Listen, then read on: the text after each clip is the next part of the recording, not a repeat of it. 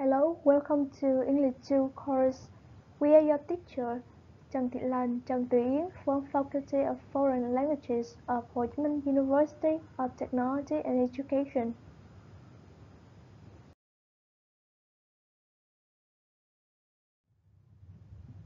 Before beginning the lesson, first I want to know have you ever imagined that you have a foreign foreign friend and you really like him or her, so you want to attract her by your personal story, but unfortunately you cannot express ideas.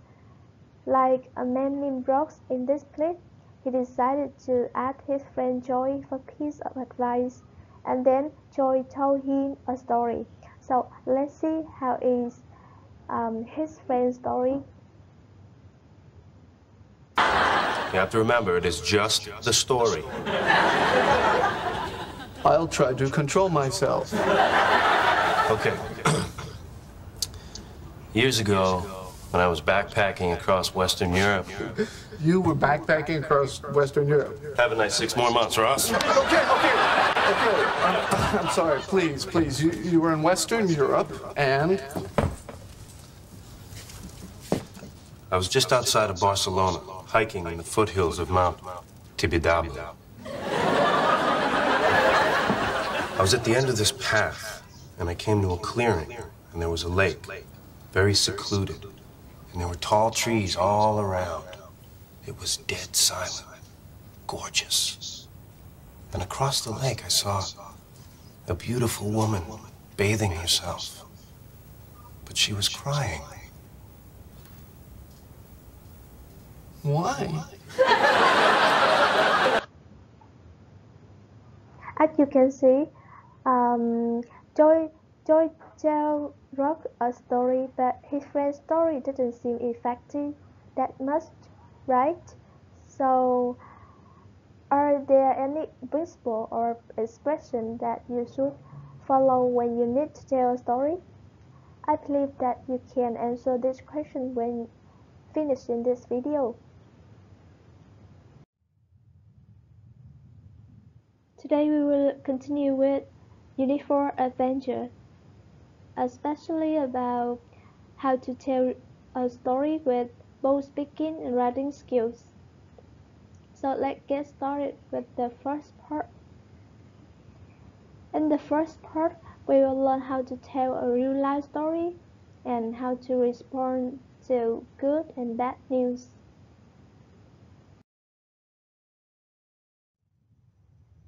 There are some ways for you to start your story. Um, in traditional story, often start with the phrase "once upon a time." However, if you are going to tell your story after someone else had already spoken, you can say something like, "That reminds me." Hearing your story reminds me of when some something similar happened to me and then beginning your story. So now how do you tell your story? Um, your story should be quite short. Try to keep it grammatically simple as well so that it's easier to follow. Make it easier for listener to understand by uh, you can use sequencing works or linking works. Uh, some use some uh, sequencing works uh, are these works that show the uh, the time order of the events. For example, first of all, secondly, previously, then later, before all that, final, etc. Uh, linking work. Um, we use this work to link your ideas for the listener. Um, linking work can use uh, can be used to show reason, result, uh, contrasting information, in, in additional information, and to summarize, uh, for example, other results because of on those in shock, etc.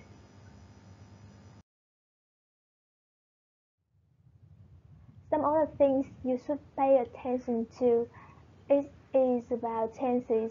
If you want to talk to, to tell a story that happened in the past, you should use past simple or past continuous tense. Uh, another is about vocabulary. Just try to use wide range of books to make your story become more interesting. For example, instead of using nice or bad, um, you can use beautiful or terrible.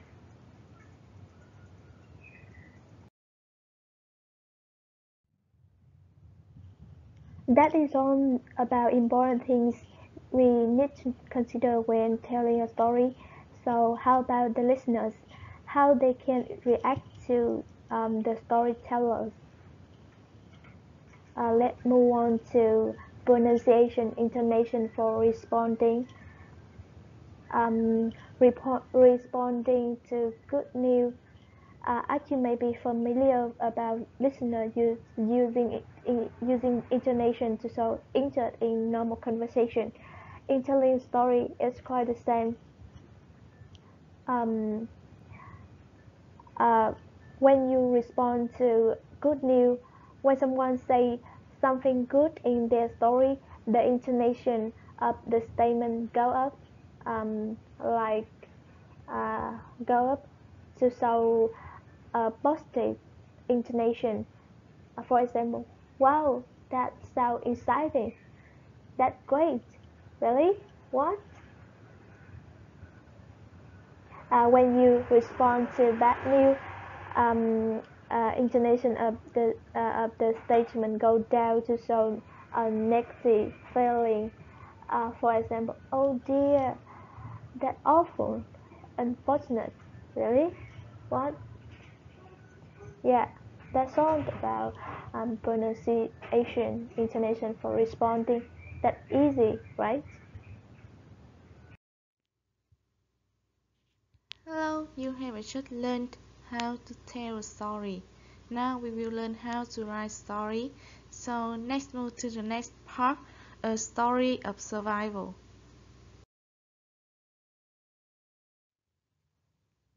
Before writing, there are some important activities that you should prepare to make your story become more interesting. The first one, let's think about some information that may be included in your story.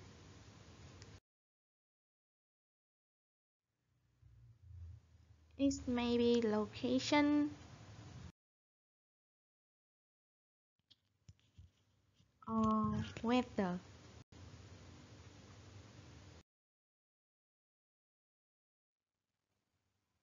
People.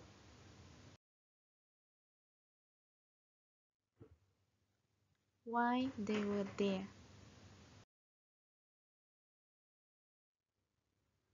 Or it also includes any sudden and unexpected events that changed situation.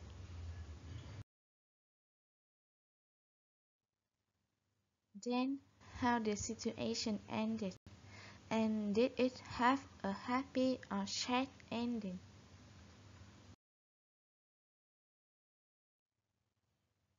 Now it's time for practice.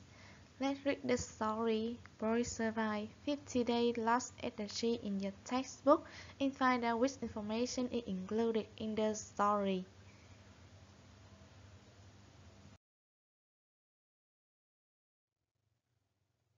Have you done? So which information is included in the story? Look at the second sentence. 50 days ago, the rich neighbor suddenly disappeared from the island of Atafu in a small pool. This sentence gives us the information about location, people, and why they were there. So, what event that changed the situation? Keep reading to the fourth sentence. Eventually, a fishing boat in the middle of the Pacific Ocean safely pulled down from the sea.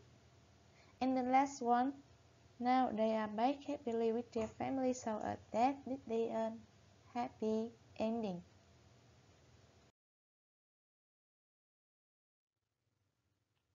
Now we turn to other activity.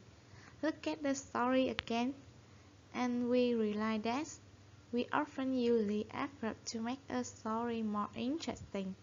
So underline the adverb in the story to know that.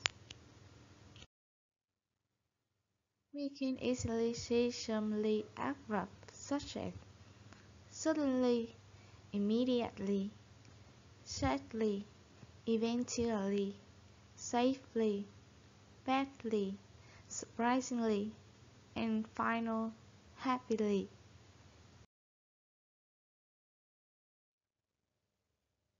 So why we should use the adverb when writing a story? The answer is because of each function. We often use the adverb to comment on the whole clause or sentence. For example, eventually they show another ship in the distance. The second function is describe the verb, how someone did something or how it happened. For example, he slowly swam toward the island. Also, he swam toward the island slowly. The third function is to describe an adjective. For example, the three survivors were amazingly healthy.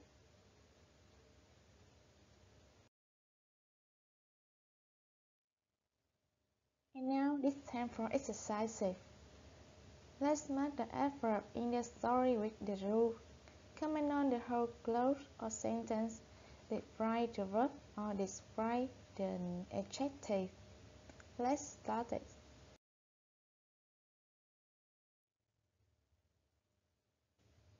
Check your answer and ask me if you have any question.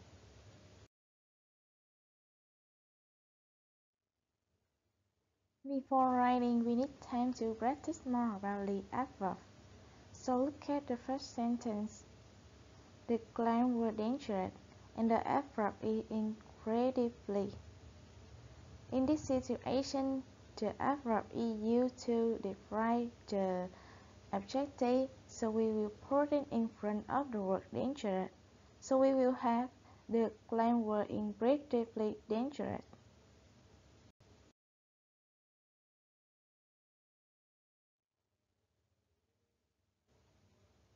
Another sentence. It started raining. You had an umbrella. So the adverb fortunately in this situation is used to comment on the whole sentence. You had an umbrella. So we will have it started raining. Fortunately, you had an umbrella.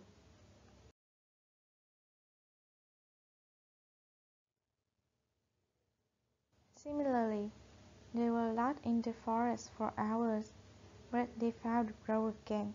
So the effort eventually used to comment on the whole clue they found the road again.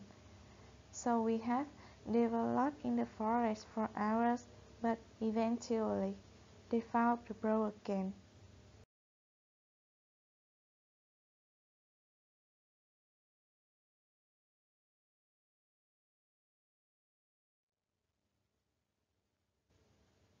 Now time for writing.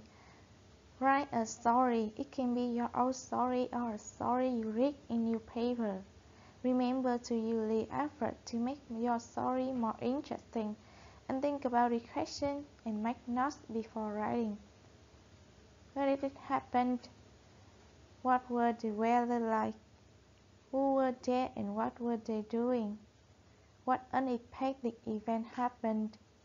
what happened next, and this it had a happy or sad ending.